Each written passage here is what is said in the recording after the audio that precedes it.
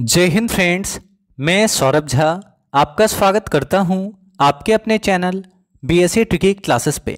आज हम लोग S S C C G L और S S C G D के एग्ज़ाम को ध्यान में रखते हुए एस एस सी के एग्ज़ाम में बार बार पूछे जाने वाले most important topic first in India Bharat में प्रथम से जुड़े महत्वपूर्ण प्रश्नों को देखेंगे। साथ ही साथ इन सवालों से जुड़े संभावित प्रश्नों को डिस्कस करेंगे जो एस एस सी और एसएससी जीडी के एग्ज़ाम में आपसे पूछे जा सकते हैं।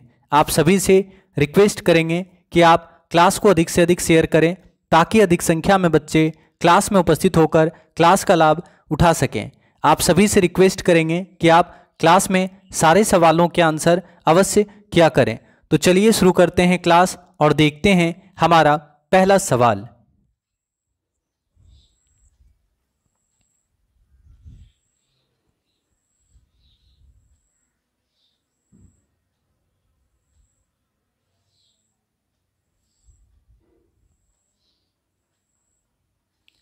भारतीय राष्ट्रीय कांग्रेस के प्रथम अध्यक्ष कौन थे? Option A, Badruddin Tyab ji. Option B, Maulana Abul Kalam Azad. Option C, Womesh Chandra Banerjee. Option D, Sardar Vallabh bhai Patel. तो आपको बताना है, इंडियन नेशनल कांग्रेस के पहले अध्यक्ष कौन थे? आप सभी को पता होगा, इंडियन नेशनल कांग्रेस की स्थापना 28 दिसंबर अठारह ईस्वी को की गई थी। इंडियन नेशनल कांग्रेस की स्थापना 28 दिसंबर अठारह ईस्वी को ए ओ ह्यूम के द्वारा किया गया था। तो अगर आपसे पूछे, इंडियन नेशनल कांग्रेस अपना स्थापना दिवस कब मनाता है? तो इंडियन नेशनल कांग्रेस अपना स्थापना दिवस 28 दिसंबर को मनाता है और इंडियन नेशनल कांग्रेस की स्थापना ए ओ ह्यूम के द्वारा की गई थी। याद रखेंगे तो A O Hume, Allan Octavian Hume ने 28 दिसंबर अठारह ईस्वी को इंडियन नेशनल कांग्रेस की स्थापना की थी। अगला इंपॉर्टेंट सवाल पूछेगा इंडियन नेशनल कांग्रेस का। पहला अधिवेशन कब आयोजित किया गया था? तो इंडियन नेशनल कांग्रेस का पहला अधिवेशन 28 दिसंबर अठारह ईस्वी को आयोजित किया गया था। इंडियन नेशनल कांग्रेस का पहला अधिवेशन पुणे में आयोजित किया जाना था, लेकिन उस समय पुणे में प्लेग बीमारी फैल जाने के कारण पहला अधिवेशन जो है मुंबई में आयोजित किया गया था, याद रखेंगे। तो आपसे पूछेगा, इंडियन नेशनल कांग्रेस का पहला अधिवेशन कहाँ आयोजित किया गया था?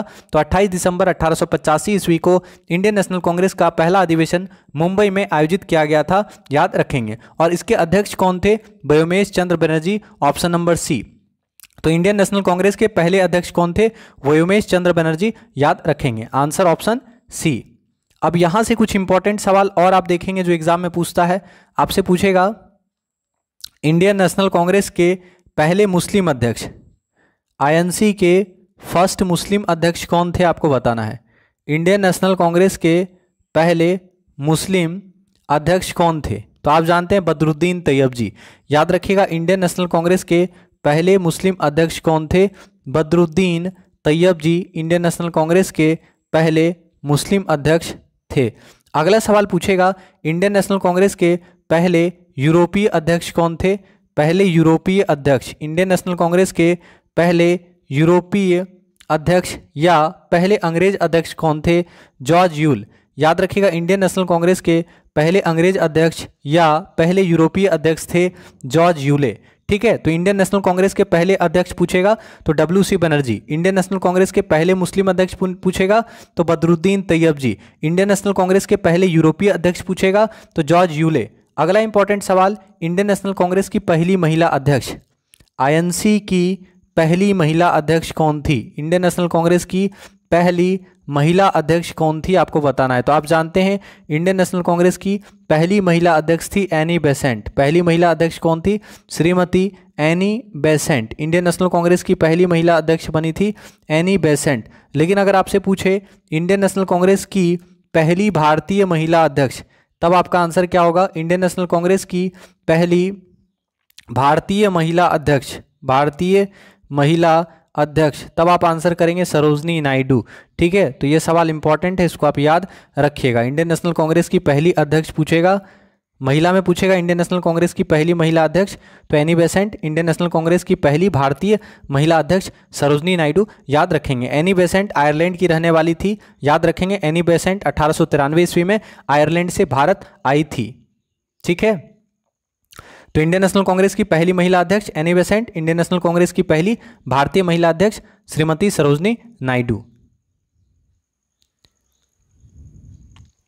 भारत में प्रिंटिंग प्रेस का प्रचलन करने वाले प्रथम व्यक्ति कौन है? आंसर करेंगे, भारत में प्रिंटिंग प्रेस का प्रचलन करने वाले पहले व्यक्ति कौन है? Option A, James August Hicky option B Satyendra Nath Tagore, option C Dada bhai Naoroji, option D, Lord Mayo. तो फटाफट आंसर करेंगे, क्या होगा? अगर आपसे पूछे, इंडियन नेशनल कांग्रेस के पहले गैर, इंडियन नेशनल कांग्रेस के पहले गैर हिंदू अध्यक्ष कौन थे? तो दादा भाई नरोजी याद रखिएगा, इंडियन नेशनल कांग्रेस के पहले गैर हिंदू अध्यक्ष कौन थे? तो इंडियन नेशनल कांग्रेस के पहले गैर हिंदू अध्यक्ष थे दादा भाई नरोजी। और अगर पूछे भारत में प्रिंटिंग प्रेस का प्रचलन करने वाले पहले व्यक्ति कौन थे तो जेम्स ऑगस्ट हिक्की भारत में प्रिंटिंग प्रेस का प्रचलन करने वाले पहले व्यक्ति थे, याद रखेंगे। भारत का पहला समाचार पत्र का नाम था द बंगाल गजट, जो अंग्रेज़ी भाषा में पब्लिश किया जाता था। तो याद रखना है कि सत्रह सौ अस्सी ईस्वी में कलकत्ता से द बंगाल गजट नामक अंग्रेज़ी समाचार पत्र का प्रकाशन किया गया था।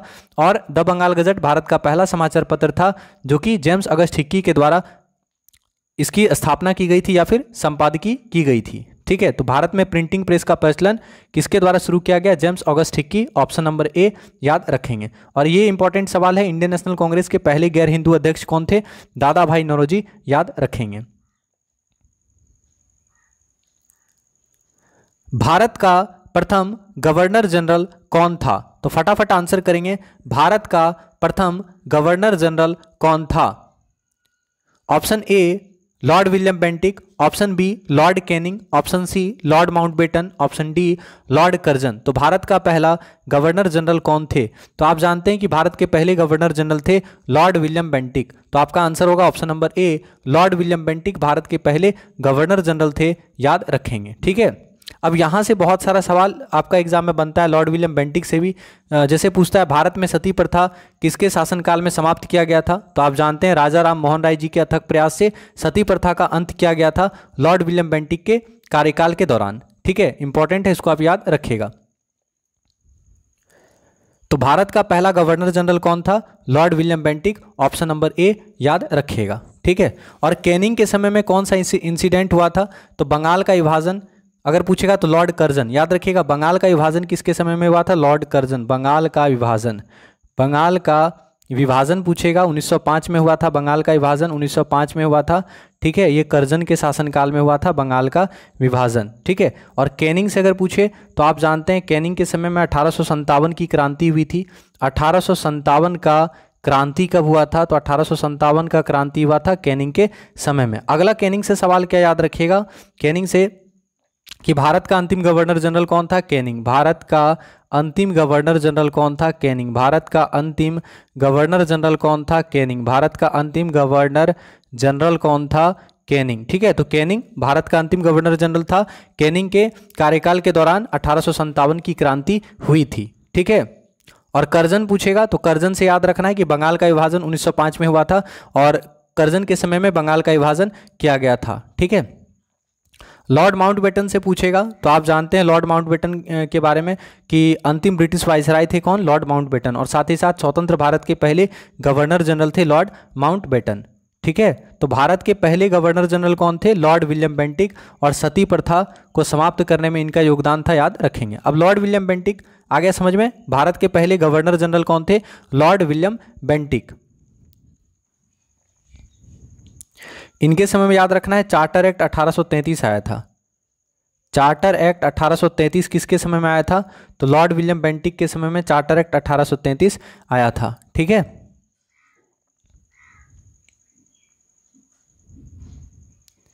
भारत में प्रथम समाचार पत्र शुरू करने वाले व्यक्ति कौन थे? आपको बताना भारत में पहला समाचार पत्र शुरू करने वाले व्यक्ति कौन थे? Option A Rabindranath Tagore, option B, James August Hicky option C, Bhagat Singh, option D, Canning. तो आपको बताना, भारत में प्रथम समाचार पत्र शुरू करने वाले व्यक्ति कौन थे? तो आप जानते हैं, भारत का पहला समाचार पत्र कौन सा था? The Bengal Gazette. याद रखेंगे, भारत का पहला समाचार पत्र का नाम क्या था?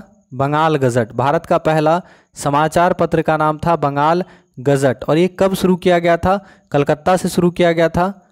कलकत्ता से शुरू किया गया था याद रखना है 1780 ईस्वी में। और इस, और इसकी स्थापना जेम्स ऑगस्ट हिक्की के द्वारा की गई थी। ठीक है तो आंसर हो गया ऑप्शन नंबर बी। तो याद रखेंगे, भारत का पहला समाचार पत्र द बंगाल गजट कोलकाता से सत्रह सौ अस्सी ईस्वी में पब्लिश किया गया था, और इसके संपादक थे जेम्स ऑगस्ट हिक्की ठीक है और ये इंग्लिश भाषा का समाचार पत्र था।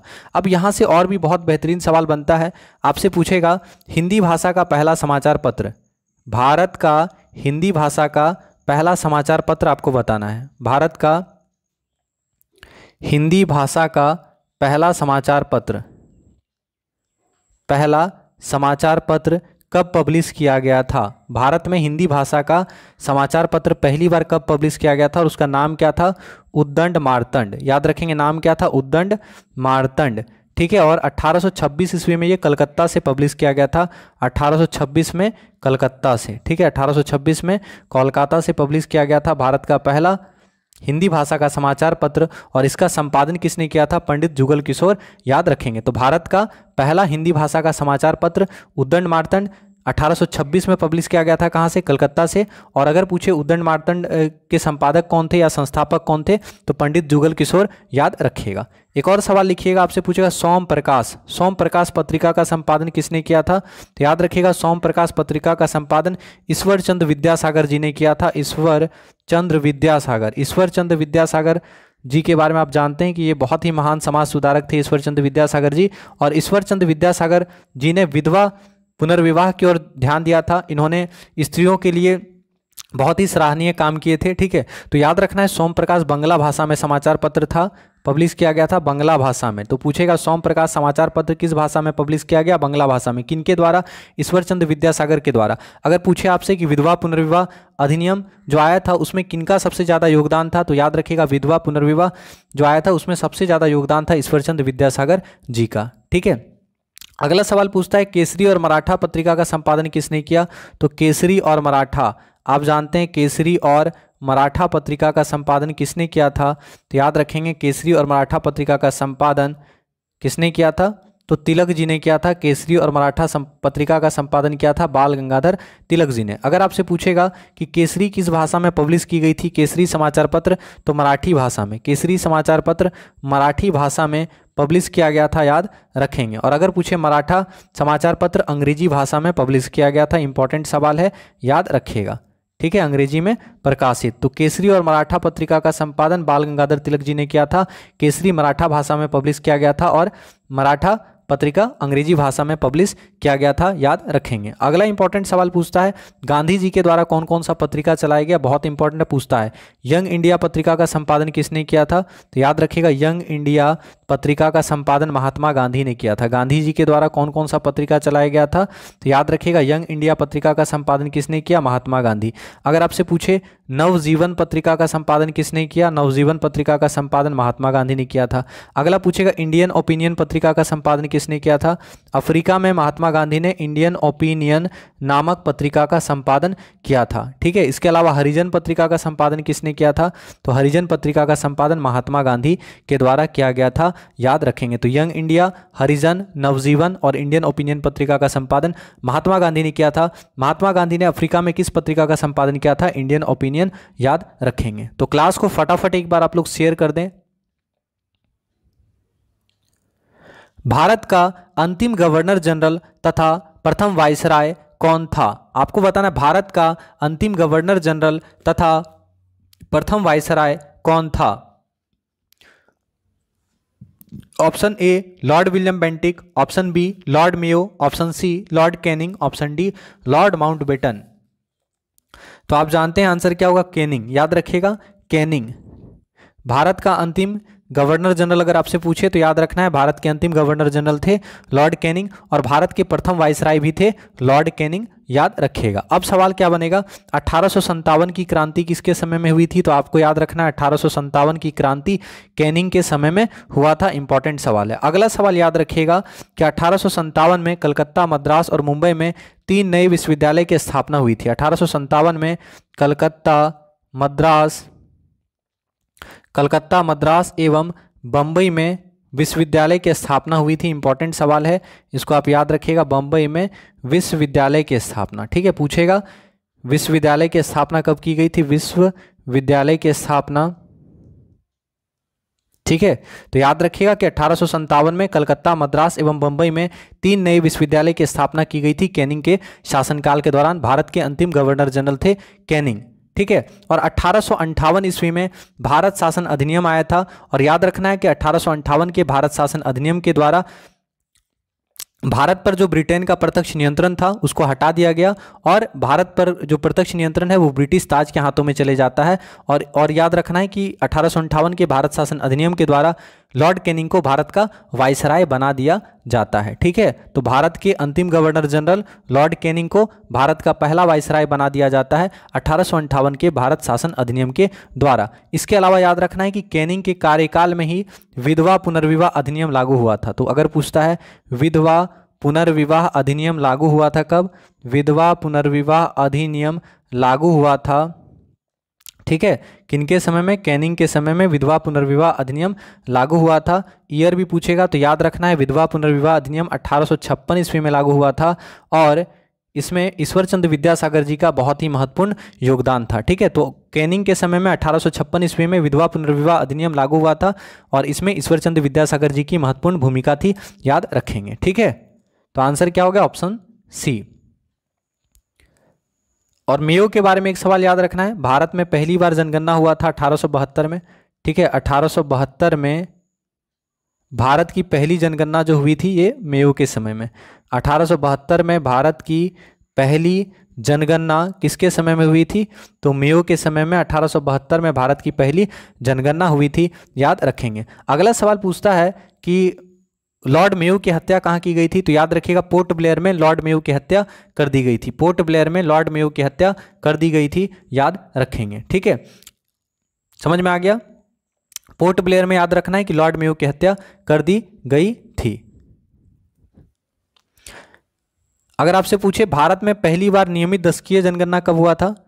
भारत में पहली बार नियमित दस वर्षीय जनगणना कब हुआ था? नियमित दस वर्षीय जनगणना कब हुआ था और ये किसके शासनकाल में, किसके कार्यकाल के दौरान हुआ था, आपको बताना है। तो भारत में पहली बार नियमित दस वर्षीय जनगणना हुआ था 1800 कब हुआ था, इक्यासी में हुआ था या बिरासी में हुआ था, फटाफट बताएँगे। तो अठारह सौ इक्यासी में हुआ होगा और ये किनके समय में हुआ था तो इंपॉर्टेंट है, रिपन के कार्यकाल के दौरान हुआ था और रिपन को भारत में स्वशासन का जनक कहा जाता है, याद रखिएगा। ठीक है तो नियमित जनगणना की शुरुआत कब हुई थी अठारह ईस्वी में? रिपन के कार्यकाल में। ठीक है तो पूछेगा, भारत में पहली बार नियमित दस वर्षीय जनगणना कब हुआ अठारह सौ इक्यासी में? किसके कार्यकाल में? रिपन के कार्यकाल में। रिपन को भारत में स्थानीय स्वशासन का जनक कहा जाता है। याद रखेंगे। क्लास को फटाफट एक बार आप लोग शेयर कीजिएगा। ब्रिटिश संसद का सदस्य बनने वाले पहले भारतीय कौन हैं? आपको बताना है, ब्रिटिश संसद का सदस्य बनने वाले पहले भारतीय कौन हैं? Option A, James August Hicky option B, Mahatma Gandhi, option C Dada bhai Naoroji, option D, मौलाना अबुल कलाम आज़ाद। तो याद रखिएगा, ब्रिटिश संसद का सदस्य बनने वाले पहले भारतीय कौन थे? दादा भाई नरोजी। तो याद रखेंगे, ब्रिटिश संसद का सदस्य बनने वाले पहले भारतीय थे दादा भाई नरोजी। ठीक है, अगला याद रखना है यहाँ से कि दादा भाई नरोजी ने इंग्लैंड में भारतीय सुधार समिति की स्थापना की। आपसे पूछेगा, भारतीय सुधार समिति की स्थापना किसने की? तो भारतीय सुधार समिति की स्थापना दादा भाई नरोजी के द्वारा किया गया था इंग्लैंड में। तो ये इंपॉर्टेंट सवाल है। तो इंग्लैंड में दादा भाई नरोजी ने भारतीय सुधार समिति की स्थापना की थी अठारह सौ सतासी ईस्वी में। तो अठारह सौ सतासी में इंग्लैंड में दादा भाई नरोजी ने भारतीय सुधार समिति की स्थापना की थी। इसके अलावा याद रखना है, ब्रिटिश हाउस ऑफ़ कॉमन्स का चुनाव लड़ने वाले एक चुनाव लड़ने वाले सर्वप्रथम भारतीय व्यक्ति कौन थे? दादा भाई नौरोजी। तो दादा भाई नौरोजी ब्रिटिश संसद का सदस्य बनने वाले पहले भारतीय व्यक्ति थे। ठीक है? और सवाल यहाँ से क्या क्या बनेगा? तो और यहाँ से बहुत सारा सवाल बनता है। जैसे 1906 का कांग्रेस अधिवेशन, आपको पता होगा 1906 का इंडियन नेशनल कांग्रेस का जो अधिवेशन हुआ था, उसमें दादा भाई नौरोजी ने पहली बार स्वराज की मांग की थी। तो पूछेगा कि पहली बार स्वराज का मांग किसने किया था? कांग्रेस के अधिवेशन में तो याद रखना है 1906 के कलकत्ता अधिवेशन में, इंडियन नेशनल कांग्रेस का 1906 का कलकत्ता अधिवेशन में दादा भाई नरोजी ने पहली बार स्वराज की मांग की थी। ठीक है इंपॉर्टेंट सवाल है, इसको आप याद रखिएगा। और क्या क्या सवाल बनता है दादा भाई नरोजी से? तो दादा भाई नरोजी ने कुछ प्रमुख संस्थाओं का निर्माण किया है। जैसे आपसे पूछेगा, ब्रिटिश सार्वजनिक सभा का स्थापना किसने किया था? ब्रिटिश सार्वजनिक सभा, याद रखिएगा। ब्रिटिश सार्वजनिक सभा की स्थापना किसने की थी? तो ब्रिटिश सार्वजनिक सभा की स्थापना दादा भाई नरोजी के द्वारा किया गया था। ब्रिटिश सार्वजनिक सभा की स्थापना दादा भाई नरोजी के द्वारा किया गया था। अगला पूछेगा, रहनुमाई माजदयन सभा। रहनुमाई माजदायन सभा की स्थापना किसने की थी? तो याद रखेंगे कि दादा भाई नरोजी ने रहनुमाई माजदायन सभा की स्थापना की थी, ठीक है? तो अट्ठारह में दादा भाई नरोजी ने अट्ठारह में दादा भाई नरोजी ने रहनुमाई माजदायन सभा की स्थापना की थी। और अगर पूछे ब्रिटिश सार्वजनिक सभा की स्थापना कब किया गया था? तो अट्ठारह ईस्वी में दादा भाई नरोजी ने ब्रिटिश सार्वजनिक 1843 ईस्वी में दादा भाई नरोजी ने ब्रिटिश सार्वजनिक सभा की स्थापना की थी, याद रखेंगे। इसके अलावा दादा भाई नरोजी ने ईस्ट इंडियन एसोसिएशन की स्थापना की थी, याद रखेंगे। इंडियन नेशनल कांग्रेस के पहले गैर हिंदू अध्यक्ष कौन थे? दादा bhai Naoroji Indian National Congress के पहले गैर हिंदू अध्यक्ष थे, याद रखेंगे। ठीक है? तो ब्रिटिश संसद का सदस्य बनने वाले पहले भारतीय व्यक्ति कौन थे? ऑप्शन नंबर सी दादा भाई नरोजी। तो क्लास को फटाफट शेयर करेंगे आप लोग। भारत का अंतिम वायसराय का नाम क्या है? आपको बताना है भारत के अंतिम वायसराय कौन थे? Option A, Lord Canning, option B, Lord Mayo, option C, Lord Mountbatten, option D, Lord Curzon. तो आपको बताना है भारत के अंतिम वायसराय कौन थे? तो आप जानते हैं भारत के अंतिम वायसराय थे लॉर्ड माउंटबेटन। याद रखेंगे लॉर्ड माउंटबेटन भारत के अंतिम वायसराय थे। ठीक है तो लॉर्ड माउंटबेटन भारत के अंतिम वायसराय थे। तो एक याद रखना है, अंतिम ब्रिटिश वायसराय पूछेगा। अंतिम ब्रिटिश वायसराय पूछेगा कौन थे? तो याद रखिएगा, अंतिम ब्रिटिश वायसराय थे लॉर्ड माउंटबेटन। अंतिम ब्रिटिश वायसराय कौन थे? Lord Mountbatten. अगला पूछेगा, स्वतंत्र भारत के पहले गवर्नर जनरल। स्वतंत्र भारत के पहले गवर्नर जनरल कौन थे? स्वतंत्र भारत के पहले गवर्नर जनरल कौन थे? Lord William Bentinck. तो इंपॉर्टेंट सवाल है, पूछता है एग्ज़ाम में। तो याद रखिएगा कि अंतिम ब्रिटिश वाइसराय कौन थे? लॉर्ड माउंट बेटन स्वतंत्र भारत के पहले गवर्नर जनरल कौन थे? लॉर्ड माउंट बेटन ठीक है? आंसर हो गया ऑप्शन नंबर सी एक और सवाल बनता है सी राजगोपालाचारी जी के बारे में। आपसे पूछेगा, स्वतंत्र भारत के पहले, स्वतंत्र भारत के पहले तथा अंतिम भारतीय गवर्नर, ठीक है, अंतिम भारतीय गवर्नर जनरल, स्वतंत्र भारत के पहले तथा अंतिम भारतीय गवर्नर जनरल कौन थे? तो याद रखना है, स्वतंत्र भारत के पहले तथा अंतिम भारतीय गवर्नर जनरल थे सी राजगोपालाचारी सी राजगोपालाचारी, और आपको पता होगा इनको भारत रत्न भी दिया गया था, सी राजगोपालाचारी याद रखेंगे। तो स्वतंत्र भारत के पहले तथा अंतिम भारतीय गवर्नर जनरल कौन थे?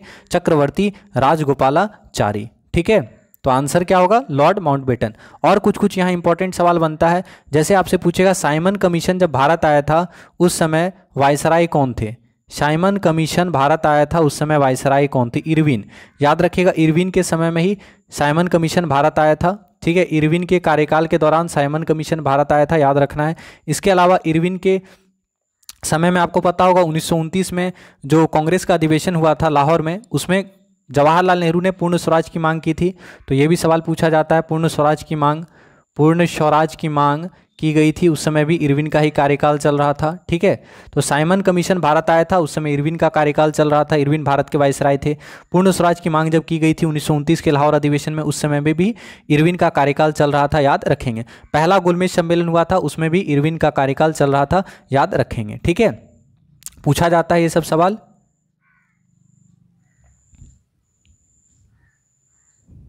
ठीक है? एक सवाल बताइएगा, भारत में पहली बार आयकर किसके द्वारा लगाया गया था? भारत में पहली बार आयकर किसके कार्यकाल के दौरान लगाया गया था? तो भारत में पहली बार आयकर लगाया गया था कैनिंग के कार्यकाल के दौरान। तो इंपॉर्टेंट सवाल है, याद रखिएगा, भारत में पहली बार आयकर लगाया गया था कैनिंग के कार्यकाल में, भारत में पहली बार आयकर लगाया गया था कैनिंग के कार्यकाल में, याद रखेंगे। ठीक है, और अठारह की क्रांति भी कैनिंग के कार्यकाल के दौरान ही हुआ था, अठारह का क्रांति, याद रखेंगे। ठीक है? वारेन हेस्टिंग से सवाल याद रखिएगा, इंपॉर्टेंट है, पूछता है, क्या पूछेगा वारेन हेस्टिंग से? तो बंगाल का पहला गवर्नर जनरल कौन था? याद रखिएगा, बंगाल के पहले गवर्नर जनरल कौन थे? बंगाल का प्रथम गवर्नर जनरल कौन था? तो बंगाल का पहला गवर्नर जनरल था वारेन हेस्टिंग्स। याद रखिएगा, बंगाल के पहले गवर्नर जनरल कौन थे? Warren Hastings. बंगाल के पहले गवर्नर जनरल थे वारेन हेस्टिंग्स, ठीक है? और वारेन हेस्टिंग्स के समय में ही सत्रह सौ तिहत्तर ईस्वी का रेगुलेटिंग एक्ट आया था। सत्रह सौ तिहत्तर का रेगुलेटिंग एक्ट आया था। याद रखना है, पूछता है। ठीक है? तो बंगाल के पहले गवर्नर जनरल कौन थे? Warren Hastings. और वारेन हेस्टिंग्स के समय में ही सत्रह सौ तिहत्तर का रेगुलेटिंग एक्ट आया था। अगला सवाल इन्हीं से एक और सवाल याद रखिएगा कि बंगाल के अंतिम गवर्नर कौन थे? तो वारेन हेस्टिंग्स। ये बंगाल के अंतिम गवर्नर थे। बंगाल के अंतिम गवर्नर कौन थे? तो वारेन हेस्टिंग्स। ठीक है? बंगाल के अंतिम गवर्नर कौन थे? तो वारन हेस्टिंग्स। तो आपको याद रखना ये सवाल कि बंगाल के अंतिम गवर्नर थे वारन हेस्टिंग्स। लेकिन सत्रह सौ तिहत्तर ईस्वी में रेगुलेटिंग एक्ट आया और सत्रह सौ तिहत्तर के रेगुलेटिंग एक्ट के द्वारा बंगाल के अंतिम गवर्नर को ठीक है? यानी बंगाल के जो गवर्नर थे, उनको गवर्नर जनरल कहा जाने लगा तो ये आप याद रखिएगा, ठीक है? तो सत्रह ईस्वी में रेगुलेटिंग एक्ट आया और सत्रह सौ तिहत्तर के रेगुलेटिंग एक्ट के द्वारा बंगाल के गवर्नर को बंगाल का गवर्नर जनरल कहा जाने लगा। इस प्रकार वारेन हेस्टिंग्स बंगाल के अंतिम गवर्नर हुए और साथ ही साथ ये बंगाल के पहले गवर्नर जनरल भी कहलाए, याद रखेंगे, ठीक है? और भी इनसे बहुत सारा सवाल बनता है। जैसे कि आपसे पूछेगा कि प्रथम मराठा युद्ध किसके कार्यकाल में हुआ था? तो याद रखेंगे, वारेन हेस्टिंग्स के कार्यकाल में पहला मराठा युद्ध हुआ था। द्वितीय आंग्ल मैसूर युद्ध भी वारेन हेस्टिंग्स के कार्यकाल के दौरान ही हुआ था। ठीक है? तो क्लास को फटाफट एक बार आप लोग शेयर कर दीजिए।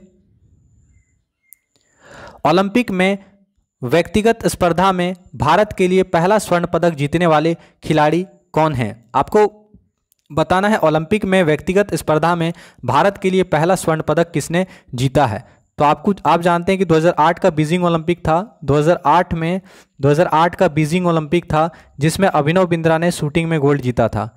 बीजिंग ओलंपिक, ठीक है? 2008 का बीजिंग ओलंपिक याद रखना है।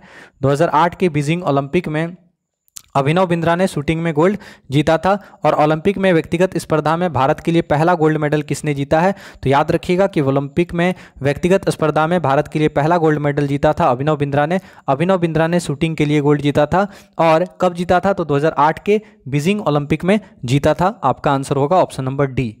अब यहाँ से कुछ और इंपॉर्टेंट सवाल आप देखिएगा, जो एग्ज़ाम में पूछा जाता है। आपसे पूछेगा, आधुनिक आधुनिक ओलंपिक खेलों का, आधुनिक ओलंपिक खेलों का पहला आयोजन कब किया गया? आधुनिक ओलंपिक खेलों का पहला आयोजन कब किया गया? ठीक है आधुनिक ओलंपिक खेलों का सर्वप्रथम आयोजन कब किया गया? तो याद रखना अठारह ईस्वी में आधुनिक ओलंपिक खेलों का पहली बार आयोजन किया गया था एथेंस में। ठीक है छियानवे में आधुनिक ओलंपिक खेलों का पहली बार आयोजन किया गया एथेंस में, याद रखेंगे। तो पहली बार आधुनिक ओलंपिक खेलों का आयोजन अठारह में एथेंस में किया गया था, याद रखेंगे। अगला सवाल पूछ सकता है, ठीक है, ध्यान दीजिएगा। आपसे पूछेगा भारतीय ओलंपिक संघ की स्थापना कब की गई थी? भारतीय ओलंपिक संघ की स्थापना कब की गई थी? भारतीय ओलंपिक संघ की स्थापना कब की गई थी? तो याद रखना है 1927 ईस्वी में भारतीय ओलंपिक संघ की स्थापना कब की गई थी? तो भारतीय ओलंपिक संघ की स्थापना 1927 ईस्वी में की गई थी, ठीक है? भारतीय ओलंपिक संघ की स्थापना 1927 ईस्वी में की गई थी, याद रखेंगे। और अगर पूछे कि ओलंपिक में सर्वाधिक स्वर्ण पदक जीतने वाले पुरुष खिलाड़ी कौन है तो आप जानते हैं माइकल फेलेप्स, ठीक है? और माइकल फेलेप्स माइकल फेलेप्स जो है तैराक हैं और अमेरिका के तैराक हैं। माइकल फेलेप्स को गोल्डन सार्क भी कहा जाता है। तो याद रखिएगा, किसी एक ओलंपिक में सर्वाधिक गोल्ड मेडल जीतने वाले पुरुष खिलाड़ी हैं अमेरिका के तैराक माइकल फेलेप्स। माइकल फेलेप्स को गोल्डन सार्क कहा जाता है, ठीक है? इंपॉर्टेंट है, याद रखिएगा। अगला एक और सवाल आप बताएँगे, ओलंपिक में भाग लेने वाली पहली भारतीय महिला खिलाड़ी का नाम क्या है? ओलंपिक में भाग लेने वाली पहली, ओलंपिक में भाग लेने वाली, भाग लेने वाली पहली भारतीय महिला खिलाड़ी। पहली भारतीय महिला खिलाड़ी का नाम क्या है, आपको बताना है। तो मैरी लीला राव, याद रखिएगा, क्या नाम है? मैरी लीला राव। तो ओलंपिक में ओलंपिक में भाग लेने वाली पहली भारतीय महिला खिलाड़ी का नाम क्या है? मैरी लीला राव, याद रखिएगा, ठीक है?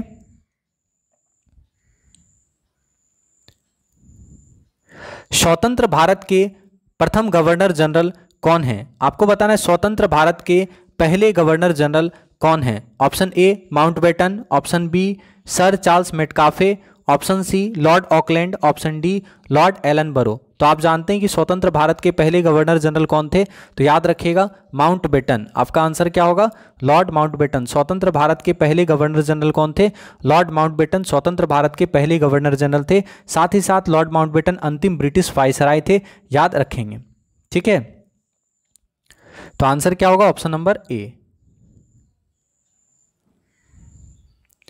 प्रथम भारतीय पायलट कौन थे? आपको बताना है, पहले भारतीय पायलट कौन थे? Option A, Vijay Mittal, option B, Mihir Sen, option C J Tata, option D, इनमें से कोई नहीं। तो आप जानते हैं कि पहले भारतीय पायलट कौन थे? J R D Tata. याद रखेंगे, पहले भारतीय पायलट कौन थे? J R D Tata. पहले भारतीय पायलट थे, ऑप्शन नंबर सी, सही आंसर होगा। स्वतंत्र भारत का प्रथम एवं अंतिम भारतीय गवर्नर जनरल कौन था? आपको बताना है स्वतंत्र भारत का प्रथम एवं अंतिम भारतीय गवर्नर जनरल कौन था? ठीक है? तो फटाफट आंसर करें स्वतंत्र भारत के, स्वतंत्र भारत के प्रथम तथा अंतिम भारतीय गवर्नर जनरल कौन थे? तो आप जानते हैं सी राजगोपालाचारी, चक्रवर्ती राजगोपालाचारी, ठीक है? स्वतंत्र भारत के पहले एवं अंतिम भारतीय गवर्नर जनरल थे चक्रवर्ती राजगोपालाचारी, याद रखेंगे, ठीक है? Answer option C, option number B. ठीक है, Chakravarti Rajagopalachari option number B एक सवाल यहाँ से इंपॉर्टेंट है, ध्यान दीजिएगा। आपसे पूछेगा, कौन से चार्टर एक्ट के ज़रिए बंगाल के गवर्नर जनरल को भारत का गवर्नर जनरल बना दिया गया? पूछेगा ये सवाल। तो याद रखना है, बंगाल के गवर्नर जनरल को, बंगाल के गवर्नर जनरल को भारत का गवर्नर जनरल बना दिया गया। किस एक्ट द्वारा? बंगाल के गवर्नर जनरल को भारत का गवर्नर जनरल बना दिया गया। ठीक है, बना दिया गया। कौन सा चार्टर एक्ट द्वारा? तो 1833 का चार्टर एक्ट मोस्ट इंपॉर्टेंट सवाल है 1833 का चार्टर एक्ट। तो याद रखिएगा 1833 के चार्टर एक्ट द्वारा बंगाल के गवर्नर जनरल को। ध्यान दीजिएगा 1833 के चार्टर एक्ट द्वारा बंगाल के गवर्नर जनरल को भारत का गवर्नर जनरल बना दिया गया था, याद रखेंगे, ठीक है? और इस प्रकार अगर पूछे कि बंगाल का अंतिम गवर्नर जनरल कौन था तो याद रखिएगा, लॉर्ड विलियम बेंटिक बंगाल के अंतिम गवर्नर जनरल थे और लॉर्ड विलियम बेंटिक को 1833 के चार्टर एक्ट द्वारा भारत का पहला गवर्नर जनरल बनाया गया था। समझ में आया? तो 1833 का चार्टर एक्ट क्या है? बंगाल के गवर्नर जनरल को भारत का गवर्नर जनरल बना दिया गया और इस तरह लॉर्ड विलियम बेंटिक बंगाल के अंतिम गवर्नर जनरल थे और लॉर्ड विलियम बेंटिक भारत के पहले गवर्नर जनरल हुए, याद रखेंगे। ठीक है? भारत आने वाले पहले रूसी प्रधानमंत्री कौन हैं? आंसर करेंगे भारत आने वाले पहले रूसी प्रधानमंत्री कौन हैं? Option A, Vladimir Putin, option B, Nikolai A, Bulgarian, option C, Mikhail mis Mikhail Mishustin, option D, Dmitry Medvedev. तो आपको बताना है भारत आने वाले पहले रूसी प्रधानमंत्री का नाम क्या है? तो याद रखेंगे भारत आने वाले पहले रूसी प्रधानमंत्री थे निकोलाई ए, बुल्गारियन। भारत आने वाले पहले रूसी प्रधानमंत्री थे Nikolai A, Bulgarian, option number B. Bharat का पहला राष्ट्रपति कौन है? आपको बताना है, भारत के पहले राष्ट्रपति कौन थे? तो आप सभी जानते हैं, पहले भारतीय राष्ट्रपति कौन थे? तो आपका आंसर क्या होगा? डॉक्टर राजेंद्र प्रसाद। भारत के पहले राष्ट्रपति कौन थे? Doctor Rajendra Prasad. Option number B, याद रखेंगे। अब यहाँ से क्या बनता है? राष्ट्रपति बनने के लिए मिनिमम पैंतीस वर्ष की आयु होनी चाहिए।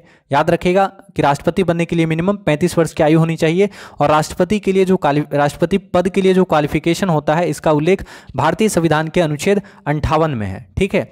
और क्या क्या यहाँ से आर्टिकल से सवाल पूछ सकता है? तो आपसे पूछेगा आर्टिकल बावन में क्या है? राष्ट्रपति का पद। याद रखिएगा आर्टिकल बावन में क्या है? राष्ट्रपति का पद। आर्टिकल बावन में क्या है? राष्ट्रपति का पद। आर्टिकल बावन में क्या है? कि भारत का एक राष्ट्रपति होगा, राष्ट्रपति का पद आर्टिकल बावन। अगला पूछता है आर्टिकल तिरपन। आर्टिकल तिरपन क्या होता है? संघ की कार्यपालिका शक्ति राष्ट्रपति में होती है। ठीक है? तो याद रखेंगे कि संघ की कार्यपालिका शक्ति संघ की कार्यपालिका शक्ति किसके पास होती है? राष्ट्रपति में होती है। यह कहा गया है। ठीक है, यह कहा गया है आर्टिकल तिरपन में। तो आर्टिकल तिरपन के अनुसार क्या हो गया? संघ की कार्य, कार्यपालिका शक्ति राष्ट्रपति में निहित होती है। राष्ट्रपति जो होता है कार्यपालिका का प्रमुख होता है आर्टिकल तिरपन के अनुसार। अगला होता है आर्टिकल चौवन। इंपॉर्टेंट है आर्टिकल चौवन। आर्टिकल चौवन में क्या होता है? राष्ट्रपति के निर्वाचन के लिए निर्वाचक मंडल की स्थापना की गई है आर्टिकल चौवन के तहत। ठीक है? तो राष्ट्रपति का निर्वाचक मंडल, याद रखिएगा कि राष्ट्रपति के निर्वाचन के लिए निर्वाचक मंडल की स्थापना की जाती है आर्टिकल चौवन के तहत, ठीक है? तो राष्ट्रपति का निर्वाचक मंडल अनुच्छेद चौवन में उल्लेखित है। अगला पूछे राष्ट्रपति बनने के लिए क्या क्या क्वालिफिकेशन होना चाहिए? इसका उल्लेख है आर्टिकल अंठावन में, ठीक है? अगर पूछे राष्ट्रपति पर महाभियोग, राष्ट्रपति पर महाभियोग तो आर्टिकल इकसठ। राष्ट्र, याद रखिएगा, राष्ट्रपति पर महाभियोग पूछेगा तो आर्टिकल इकसठ में राष्ट्रपति के ऊपर महाभियोग, जो लगता है इसका उल्लेख है, आर्टिकल इकसठ में याद रखिएगा। अगर पूछेगा राष्ट्रपति द्वारा क्षमादान, राष्ट्रपति द्वारा क्षमादान, राष्ट्रपति द्वारा क्षमादान तो याद रखिएगा अनुच्छेद बहत्तर में कहा गया है, राष्ट्रपति द्वारा क्षमादान, राष्ट्रपति क्षमादान दे सकते हैं। यह आर्टिकल बहत्तर में कहा गया है, याद रखिएगा। ठीक है तो राष्ट्रपति पर महाभियोग, अनुच्छेद इकसठ, राष्ट्रपति द्वारा क्षमादान अनुच्छेद बहत्तर। तो इकसठ में क्या है? महाभियोग और बहत्तर में क्या है? राष्ट्रपति द्वारा क्षमा दान। ठीक है? तो क्लास को फटाफट एक बार आप लोग शेयर कर दीजिए।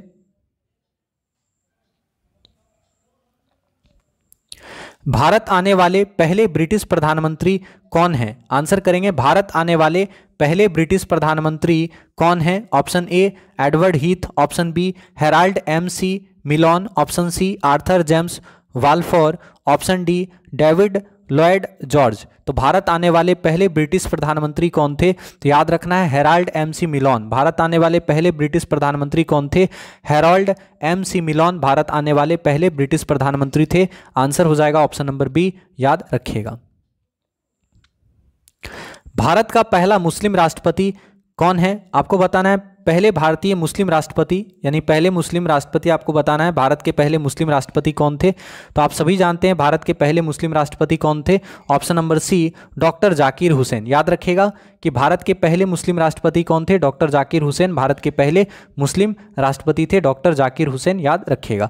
एक सवाल पूछता है, भारत के किस राष्ट्रपति को मिसाइल मैन कहा जाता है? तो याद रखिएगा, डॉक्टर एपीजे अब्दुल कलाम को मिसाइल मैन ऑफ़ इंडिया कहा जाता है। एपीजे अब्दुल कलाम भारत के ग्यारहवें राष्ट्रपति थे। याद रखिएगा ठीक है? पूछता है कभी कभी ये भी। चलिए, अगला सवाल देखते हैं। तो डॉक्टर जाकिर हुसैन, भारत के पहले मुस्लिम राष्ट्रपति। भारत में आने वाले पहले अमेरिकी राष्ट्रपति कौन है? आंसर करेंगे, भारत आने वाले पहले अमेरिकी राष्ट्रपति कौन है? Option A, Frank Roosevelt, option B, Jimmy Carter, option C, Kennedy, option D Dwight Drew David Eisenhower तो आप आंसर करेंगे, भारत आने वाले पहले अमेरिकी राष्ट्रपति कौन थे? तो याद रखना है, भारत आने वाले पहले अमेरिकी राष्ट्रपति थे ड्रू डेविड आइसन होवर ठीक है तो भारत आने वाले पहले अमेरिकी राष्ट्रपति कौन थे? तो भारत आने वाले पहले अमेरिकी राष्ट्रपति थे Drew David Eisenhower option number D याद रखिएगा। भारत के प्रथम उपराष्ट्रपति कौन है? आपको बताना भारत के पहले उपराष्ट्रपति कौन थे? Option A Abul Kalam Azad, option B Shyama Prasad Mukherjee, option C Sardar Vallabh bhai Patel, option D Sarvepalli Radhakrishnan. तो आप जानते हैं, भारत के पहले उपराष्ट्रपति कौन थे? डॉक्टर सर्वपल्ली राधाकृष्णन भारत के पहले उपराष्ट्रपति थे, याद रखिएगा, ठीक है? और अगर पूछे उपराष्ट्रपति का पद जो है, किस अनुच्छेद में बताया गया है तो आर्टिकल तिरसठ। भारत के लिए एक उपराष्ट्रपति होगा, ऐसा कहा गया है अनुच्छेद तिरसठ में, ठीक है? तो आर्टिकल तिरसठ में कहा गया है, भारत के लिए, भारत के लिए एक उपराष्ट्रपति होगा, अनुच्छेद तिरसठ। और पहले उपराष्ट्रपति कौन थे? डॉक्टर सर्वपल्ली राधाकृष्णन, याद रखिएगा। और डॉक्टर सर्वपल्ली राधाकृष्णन को राष्ट्रपति बनने से पहले ही भारत रत्न मिल चुका है। तो पूछता है, ऐसे कौन से व्यक्ति हैं जिनको राष्ट्रपति बनने से पहले ही भारत रत्न मिला था? तो डॉक्टर सर्वपल्ली राधाकृष्णन जी को याद रखना है, ठीक है? तो डॉक्टर सर्वपल्ली राधाकृष्णन भारत के पहले उपराष्ट्रपति थे, याद रखेंगे। अगला पूछता है एक बहुत अच्छा सवाल कि उपराष्ट्रपति राज्यसभा का पदेन सदस्य होता है, किस आर्टिकल में कहा गया है? उपराष्ट्रपति राज्यसभा का पदेन सदस्य पदेन सभापति होता है। उपराष्ट्रपति राज्यसभा का पदेन सभापति होता है, किस अनुच्छेद में कहा गया है? ठीक है तो उपराष्ट्रपति राज्यसभा का पदेन सभापति होता है। ऐसा कहा गया है आर्टिकल चौंसठ में। तो इंपॉर्टेंट है, याद रखिएगा। अनुच्छेद तिरसठ में क्या है? याद रखना है, अनुच्छेद तिरसठ में क्या है? उपराष्ट्रपति का पद। अनुच्छेद तिरसठ में लिखा गया है उपराष्ट्रपति का पद। लेकिन अनुच्छेद चौंसठ में कहा गया है कि उपराष्ट्रपति राज्यसभा का पदेन सभापति होता है। ठीक है तो अनुच्छेद तिरसठ में भारत के लिए एक उपराष्ट्रपति का प्रावधान। अनुच्छेद चौंसठ में उपराष्ट्रपति राज्यसभा का पदेन सभापति होता है। अगला पूछता है, उपराष्ट्रपति का निर्वाचन किस अनुच्छेद के तहत होता है? तो याद रखिएगा, उपराष्ट्रपति का निर्वाचन अनुच्छेद छियासठ के तहत होता है। उपराष्ट्रपति का निर्वाचन अनुच्छेद छियासठ के तहत होता है। याद रखिएगा। मुगल दरबार में आने वाला पहला अंग्रेज़ कौन है? आंसर करेंगे, मुगल दरबार में आने वाला पहला अंग्रेज़ कौन है? Option A, Vasco da Gama option B, Sir Thomas Roe, option C, Hawkins option D, इनमें से कोई नहीं। तो आप जानते हैं मुगल दरबार आने वाला पहला अंग्रेज़ कौन था? हॉकिंस। याद रखिएगा, मुगल दरबार आने वाला पहला अंग्रेज़ कौन था? हॉकिंस। हॉकिंस किसके शासनकाल में आया था? पूछे अगर। तो याद रखना है, जहांगीर के शासनकाल में आया था। जहांगीर के समय।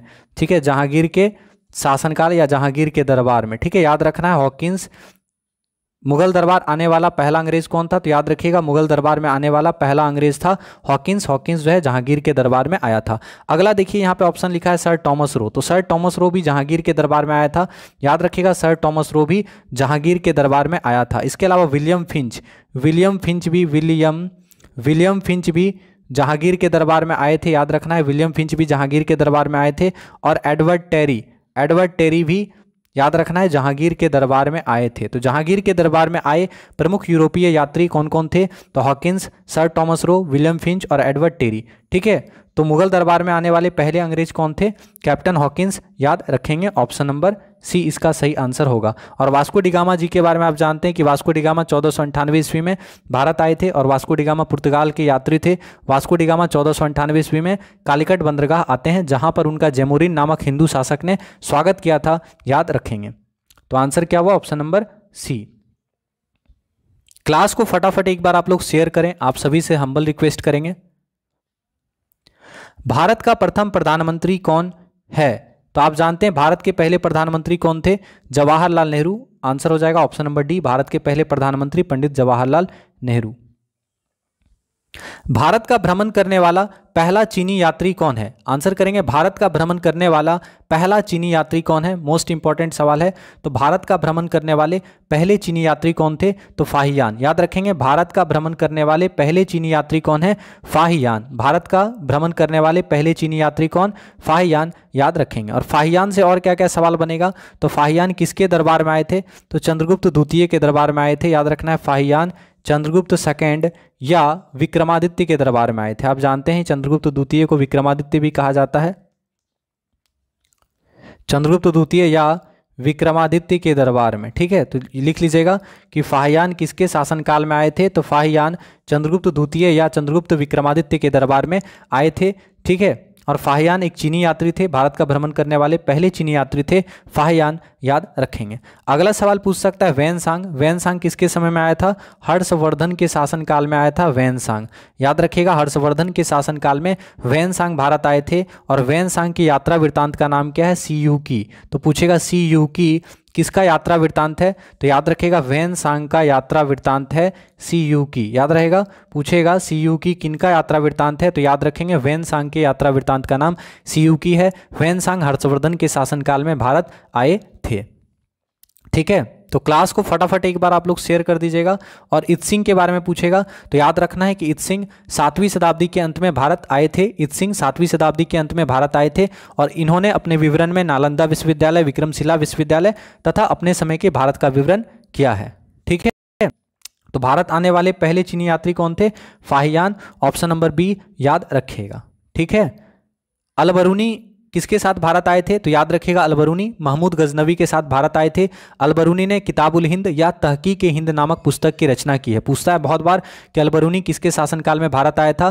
तो अलबरूनी महमूद गजनवी के साथ भारत आया था। अलबरूनी ने किताबुल हिंद या तहकीक हिंद नामक पुस्तक की रचना की है। एक और सवाल पूछता है इब्न बतूता से। तो याद रखिएगा, इब्न बतूता मोरक्को के यात्री थे। इब्न बतूता ने रहला नामक पुस्तक की रचना की थी और याद रखना इब्न बतूता किसके शासनकाल में आए थे? तो इब्न बतूता मोहम्मद बिन तुगलक के दरबार में आए थे, ठीक है? तो इब्न बतूता कहाँ के यात्री थे? तो इब्न बतूता मोरक्को के यात्री थे। इब्न बतूता ने रहला नामक पुस्तक की रचना की है और इब्न बतूता मोहम्मद बिन तुगलक के दरबार में आए थे, जहाँ पर मोहम्मद बिन तुगलक ने इब्न बतूता को दिल्ली का काजी या न्यायाधीश नियुक्त किया था। याद रखिएगा, ठीक है? तो क्लास को फटाफट आप लोग शेयर करें और जो बच्चे लाइक नहीं किए हैं, प्लीज़ लाइक कीजिएगा। भारत के प्रथम उप प्रधानमंत्री एवं गृह मंत्री कौन थे? आपको बताना भारत के पहले उप प्रधानमंत्री और गृह मंत्री कौन थे? तो आप सभी जानते हैं सरदार वल्लभ भाई पटेल भारत के प्रथम उप प्रधानमंत्री और गृह मंत्री थे। और वल्लभ भाई पटेल जी को सरदार की उपाधि किसने दी? बारदोली की महिलाओं ने। याद रखिएगा, वल्लभ भाई पटेल को सरदार की उपाधि बारदोली की महिलाओं ने दिया था। बारदोली सत्याग्रह 1928 ईस्वी में गुजरात में हुआ था, जिनको लीड किया था सरदार वल्लभ भाई पटेल ने। तो भारत के पहले उप प्रधानमंत्री एवं गृह मंत्री कौन थे? Sardar Vallabhbhai Patel, option B. बिना ऑक्सीजन के एवरेस्ट की चोटी पर पहुँचने वाले पहले भारतीय कौन है? आपको बताना बिना ऑक्सीजन के एवरेस्ट की चोटी पर पहुँचने वाला भारतीय कौन है? Option A, Mohan Singh Kohli, option B, Sherpa Ang Dorji option C, Mohan Singh Gunjiyal, option D Kanhaiya Lal Pokhriyal. तो आपको आंसर करना है, बिना ऑक्सीजन के एवरेस्ट की चोटी पर पहुँचने वाले भारतीय का नाम क्या है? तो यहाँ पे आपका सही आंसर क्या होगा?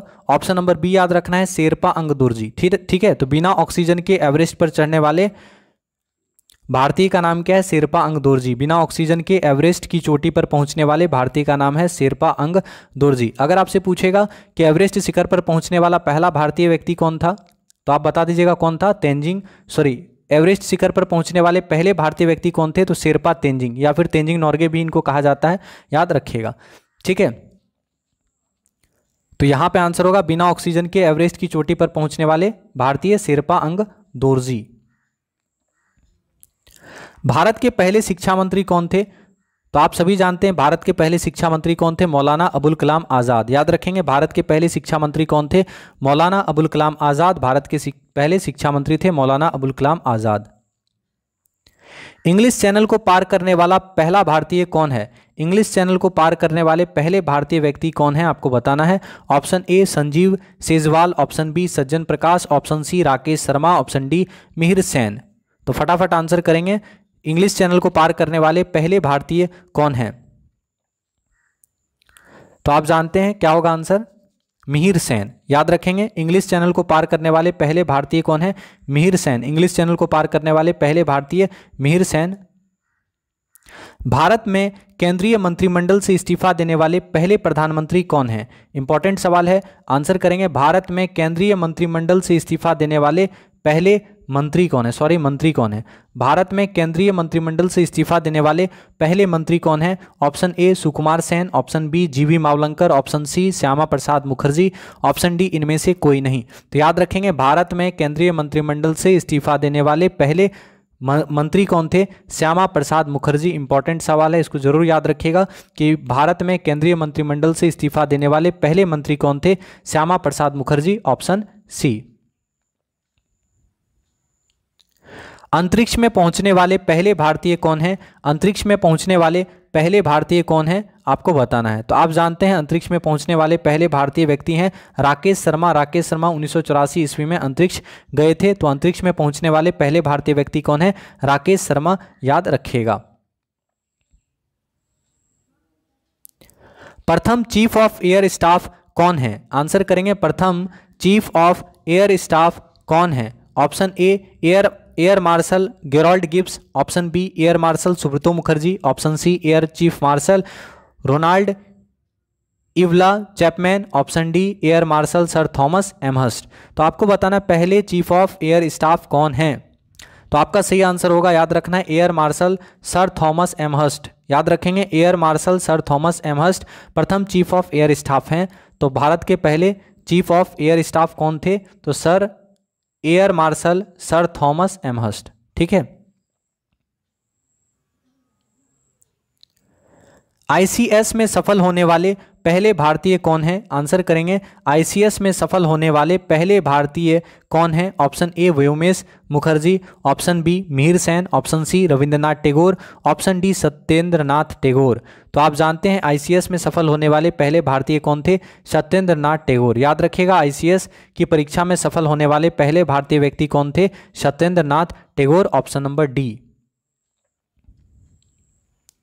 Bharat का पहला वायु सेनाध्यक्ष कौन है? आंसर करेंगे भारत के पहले वायु सेनाध्यक्ष कौन है? Option A, air marshal S Mukherjee, option B, air chief marshal Om Prakash Mehra, option C, air marshal Arjan Singh, option D, air chief marshal Pratap Chandra Lal. तो इंपॉर्टेंट सवाल है, भारत के पहले वायुसेना अध्यक्ष कौन हैं? आपको बताना है। तो याद रखना है, भारत के पहले वायुसेना अध्यक्ष कौन थे? Air marshal S Mukherjee. Answer क्या होगा? ऑप्शन नंबर ए, भारत के पहले वायुसेना अध्यक्ष थे air marshal S Mukherjee, Bharat के पहले वायुसेना अध्यक्ष। ज्ञानपीठ पुरस्कार से सम्मानित प्रथम व्यक्ति कौन है? आंसर करेंगे, ज्ञानपीठ पुरस्कार से सम्मानित प्रथम व्यक्ति कौन है? Option A Shri Shankar Kurup. Option B Satyendra Nath Tagore. Option C Rabindranath Tagore, option D Harivansh Rai Bachchan. तो आसान सा सवाल है और काफ़ी बार पूछा गया है। आप जानते हैं ज्ञानपीठ पुरस्कार से सम्मानित पहले व्यक्ति हैं जी शंकर कुरूप। याद रखिएगा, ज्ञानपीठ पुरस्कार से सम्मानित पहले व्यक्ति कौन है? जी शंकर कुरूप। अगला सवाल पूछेगा कि ज्ञानपीठ पुरस्कार से एक बहुत अच्छा सवाल पूछता है कि जी शंकर कुरूप को कब मिला था ज्ञानपीठ पुरस्कार? तो उन्नीस सौ पैंसठ ईस्वी में। याद रखिएगा, जी शंकर कुरूप को उन्नीस सौ पैंसठ में क्या मिला था? ज्ञानपीठ पुरस्कार। तो पूछे अगर कि ज्ञानपीठ पुरस्कार कब से दिया जा रहा है तो याद रखेंगे, ज्ञानपीठ पुरस्कार की शुरुआत उन्नीस सौ पैंसठ ईस्वी में की गई थी। पहला ज्ञानपीठ पुरस्कार जी शंकर कुरूप को दिया गया था। मलयालम भाषा के लिए याद रखेंगे। ठीक है? एक और सवाल यहाँ से लिखिएगा, आपसे पूछेगा, हिंदी भाषा का पहला ज्ञानपीठ किनको मिला था? हिंदी भाषा का पहला ज्ञानपीठ, हिंदी भाषा का पहला ज्ञानपीठ किनको मिला था? हिंदी भाषा का पहला ज्ञानपीठ किनको मिला था? तो सुमित्रा नंदन पंत को। याद रखिएगा, हिंदी भाषा का पहला ज्ञानपीठ पुरस्कार मिला था सुमित्रा नंदन सुमित्रा नंदन पंत जी को हिंदी भाषा का पहला ज्ञानपीठ पुरस्कार मिला था और इनको कब मिला था? उन्नीस सौ अड़सठ ईस्वी में। याद रखिएगा। तो इंपॉर्टेंट सवाल है, पूछेगा कि हिंदी भाषा का पहला ज्ञानपीठ पुरस्कार किनको मिला था? सुमित्रा नंदन पंत को। ठीक है इनकी चिदम्बरा के लिए इनको मिला था, हिंदी भाषा का पहला ज्ञानपीठ पुरस्कार उन्नीस सौ अड़सठ ईस्वी में। तो अगर आपसे पूछता है ज्ञानपीठ पुरस्कार की शुरुआत उन्नीस सौ पैंसठ में, पहला ज्ञानपीठ पुरस्कार जी शंकर कुरूप को मलयालम भाषा के लिए, उनकी कीर्ति का नाम था ओडा कुजाई। अगला पूछेगा, हिंदी भाषा का पहला ज्ञानपीठ पुरस्कार किनको मिला? सुमित्रा नंदन पंत को याद रखेगा ठीक है? इंपॉर्टेंट है, पूछता है। और अगर पूछे ज्ञानपीठ पुरस्कार पाने वाली पहली महिला का नाम तो याद रखिएगा श्रीमती आशापूर्णा देवी। ज्ञानपीठ पुरस्कार पाने वाली पहली महिला थी श्रीमती आशापूर्णा देवी। श्रीमती आशापूर्णा देवी को बंगला भाषा के लिए ज्ञानपीठ पुरस्कार मिला था। ठीक है तो ज्ञानपीठ पुरस्कार पाने वाली पहली महिला, आशापूर्णा देवी, याद रखिएगा इंपॉर्टेंट है। और अगर पूछे कि हिंदी भाषा का ज्ञानपीठ प्राप्त करने वाली पहली महिला कौन थी तो याद रखिएगा महादेवी वर्मा। ठीक है, हिंदी भाषा का ज्ञानपीठ पुरस्कार पाने वाली पहली महिला कौन थी? महादेवी वर्मा, याद रखेंगे। ठीक है, और ज्ञानपीठ पुरस्कार आप जानते हैं कि साहित्य के लिए दिया जाता है ज्ञानपीठ पुरस्कार। साहित्य के लिए भारत का सबसे बड़ा पुरस्कार है ज्ञानपीठ पुरस्कार। ठीक है भारत के प्रथम नौसेना अध्यक्ष कौन थे? आंसर करेंगे भारत के पहले नौ सेनाध्यक्ष कौन थे? Option A, admiral P G, option B, Bhaskar Soman, option C, vice admiral R D Katari, option D, Stephen Carlill. तो भारत के पहले नौसेनाध्यक्ष कौन थे? तो आप सभी को याद रखना है, भारत के पहले नौसेनाध्यक्ष थे एडमिरल पीजी। ठीक है, भारत के पहले नौसेनाध्यक्ष कौन थे? Admiral P G. Option number A आपका सही आंसर होगा, भारत के पहले नौसेनाध्यक्ष एडमिरल पीजी याद रखेगा। भारत रत्न से सम्मानित प्रथम विदेशी नागरिक कौन है? आंसर करेंगे, भारत रत्न से सम्मानित पहले विदेशी नागरिक कौन है? इंपॉर्टेंट सवाल है, भारत रत्न से सम्मानित पहले विदेशी नागरिक कौन है? आपको बताना है। तो आप जानते हैं खान अब्दुल गफ्फार खान। याद रखिएगा कि भारत रत्न से सम्मानित पहले विदेशी यात्री कौन है? खान अब्दुल गफ्फार खान अगला सवाल पूछेगा कि खान अब्दुल गफ्फार खान को भारत रत्न कब मिला था? खान अब्दुल गफ्फार खां को भारत रत्न कब मिला था आपको बताना है। खान अब्दुल गफ्फार खां को सीमांत गांधी भी कहा जाता है। आप जानते हैं कि खान अब्दुल गफ्फार खां को सीमांत गांधी कहा जाता है। ठीक है, और इनको उन्नीस सौ सतासी में भारत रत्न मिला था 1987 में। ठीक है, उन्नीस सौ सतासी में खान अब्दुल गफ्फार खां को भारत रत्न मिला था। तो याद रखिएगा कि भारत रत्न से सम्मानित पहले विदेशी नागरिक थे खान अब्दुल गफ्फार खां। खान अब्दुल गफ्फार खां को सीमांत गांधी कहा जाता है। खान अब्दुल गफ्फार खां को 1987 में भारत रत्न मिला था। याद रखेंगे, खुदाई खिदमतगार की स्थापना किसने की थी? तो खुदाई खिदमतगार की स्थापना खान अब्दुल गफ्फार खान जी के द्वारा किया गया था। याद रखेंगे, ठीक है? समझ में आया?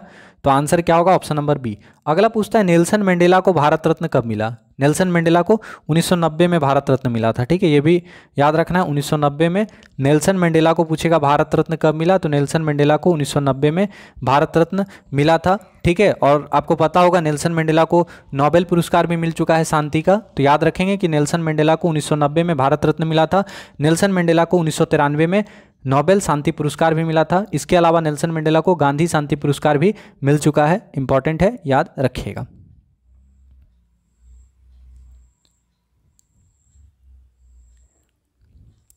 प्रथम चीफ ऑफ़ आर्मी स्टाफ कौन थे? आंसर करेंगे प्रथम चीफ ऑफ़ आर्मी स्टाफ कौन थे? Option A, K S Thimayya, option B, Jayantanath Chaudhuri, option C, Rajendra Singh Rajendra Singh ji, Jadeja, option D, S M Shrinagesh ठीक है? तो आप आंसर कीजिए, प्रथम चीफ ऑफ़ आर्मी स्टाफ कौन थे? प्रथम चीफ ऑफ़ आर्मी स्टाफ कौन थे? तो आपका सही आंसर क्या होगा? Option number C, Rajendra Singh Jadeja. याद रखना है, प्रथम चीफ ऑफ़ आर्मी स्टाफ कौन थे? तो प्रथम चीफ ऑफ़ आर्मी स्टाफ थे राजेंद्र सिंह जी जडेजा। ऑप्शन सी याद रखेंगे। भारत रत्न पुरस्कार प्राप्त करने वाला पहला भारतीय कौन है? भारत रत्न पुरस्कार प्राप्त करने वाले पहले भारतीय व्यक्ति कौन है आपको बताना है। तो आप सभी जानते हैं, इसका आंसर क्या होगा बताएँ। भारत रत्न पुरस्कार प्राप्त करने वाले पहले भारतीय व्यक्ति का नाम क्या है?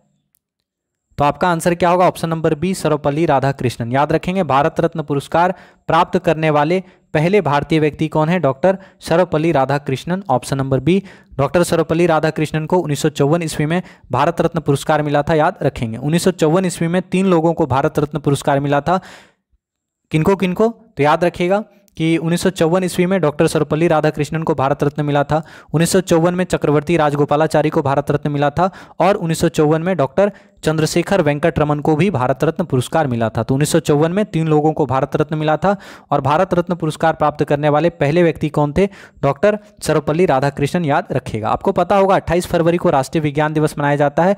डॉक्टर चंद्रशेखर वेंकट रमन जुड़े हैं। किससे? 28 फरवरी से। तो आपसे पूछेगा 28 फरवरी क्या मनाया जाता है? अट्ठाईस फरवरी को राष्ट्रीय विज्ञान दिवस मनाया जाता है। और आपको पता होगा कि चंद्रशेखर वेंकट रमन को भौतिकी में नोबेल पुरस्कार भी मिला हुआ है रमन प्रभाव की खोज के लिए।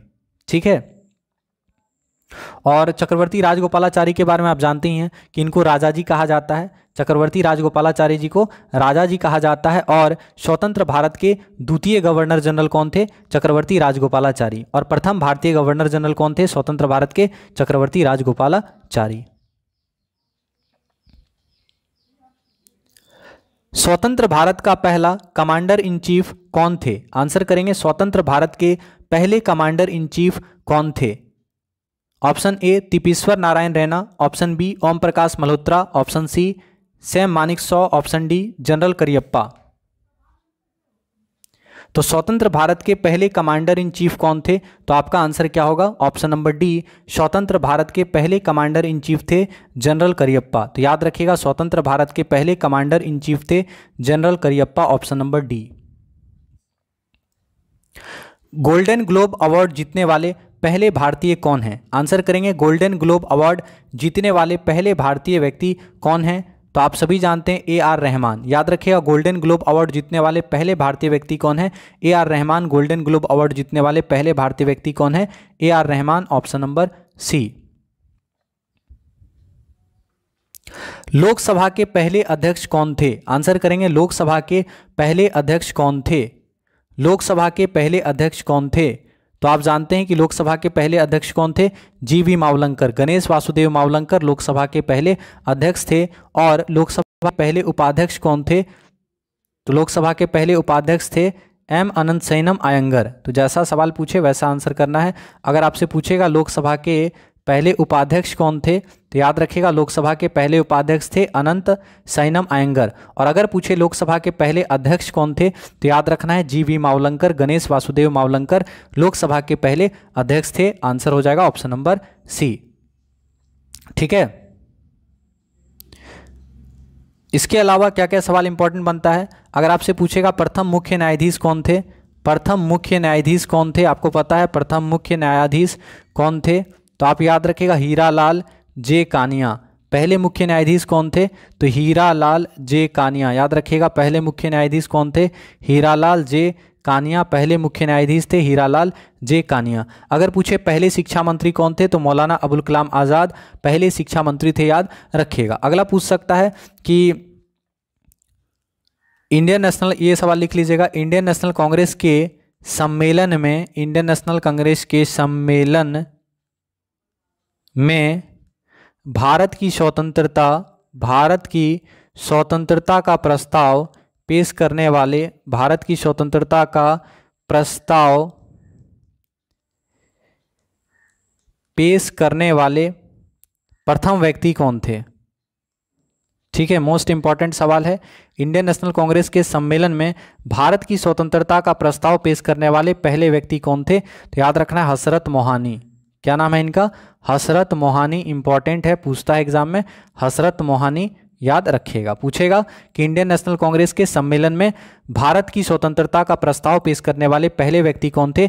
हसरत मोहानी, याद रखेंगे। नीति आयोग के पहले अध्यक्ष कौन थे? नरेंद्र, नीति आयोग के पहले अध्यक्ष कौन थे? प्रधानमंत्री अध्यक्ष होता है तो नीति आयोग के पहले अध्यक्ष कौन थे? नरेंद्र मोदी। अगर पूछेगा नीति आयोग के पहले उपाध्यक्ष कौन थे तो नीति आयोग के पहले उपाध्यक्ष थे अरविंद पनगड़िया, याद रखेंगे। नोबेल पुरस्कार प्राप्त करने वाले पहले भारतीय तो रविन्द्रनाथ टैगोर जी को उन्नीस सौ तेरह में नोबेल मिला था, आप जानते हैं। तो रवि तो याद रखना है कि रविन्द्रनाथ टैगोर नोबेल पुरस्कार प्राप्त करने वाले पहले भारतीय व्यक्ति हैं।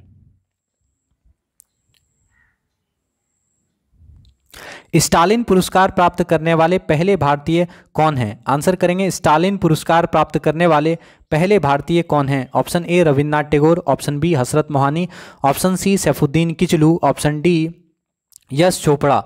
तो याद रखिएगा, स्टालिन पुरस्कार प्राप्त करने वाले पहले भारतीय कौन है? सैफुद्दीन किचलू। तो इंपॉर्टेंट सवाल है, पूछेगा, स्टालिन पुरस्कार प्राप्त करने वाले पहले भारतीय व्यक्ति कौन है? सैफुद्दीन किचलू।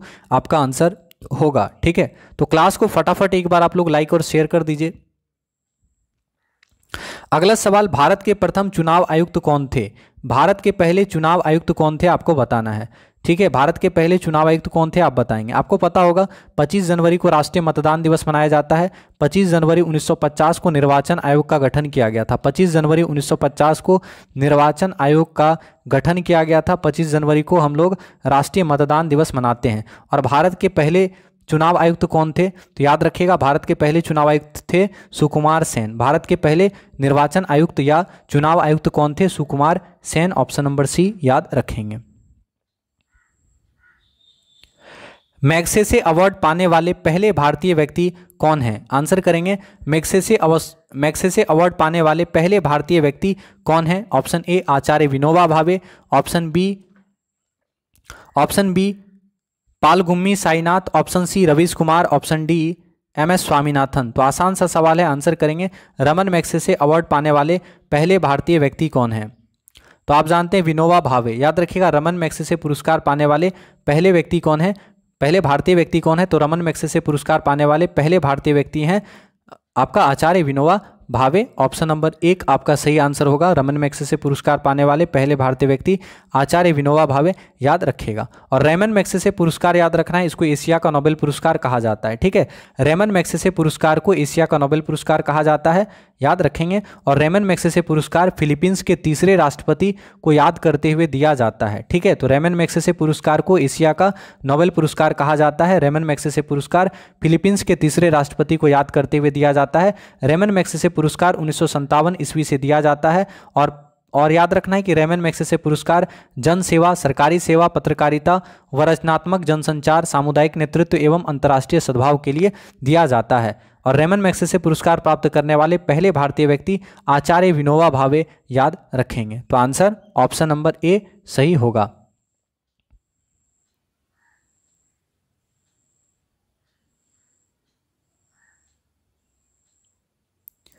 तो इतना ही सवाल था। आप सभी से हम्बल रिक्वेस्ट करेंगे कि आज का क्लास अच्छा लगा हो तो प्लीज़ क्लास को सपोर्ट कीजिएगा क्लास को लाइक और शेयर अवश्य कीजिएगा। तो मिलते हैं आपसे अगली क्लास में। आप सभी का तहे दिल से धन्यवाद करेंगे। जय हिंद, जय भारत, जय बीएसए धन्यवाद।